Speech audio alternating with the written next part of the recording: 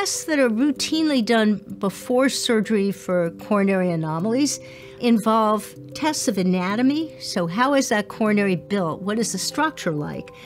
That is information the surgeon needs to know to do exactly the right operation. The second type of test we do is a test of function.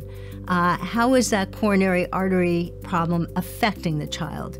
So, the tests of anatomy or the structure are often a CT scan or a CT angi- angiography, which is done to beautifully outline exactly where that coronary artery arises from, how it relates to other cardiac structures.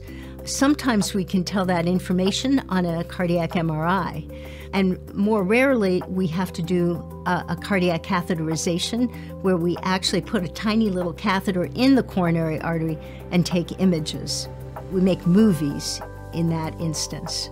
A test of function usually involves exercise of some kind.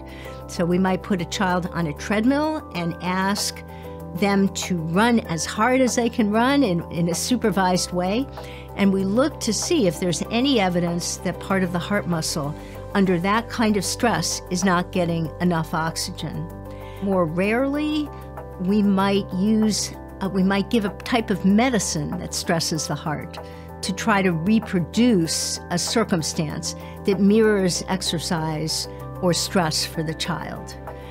Those tests, together with then conferences and discussions afterwards, are, are what we always do before we, we decide that a child should go to surgery and what kind of operation should be done.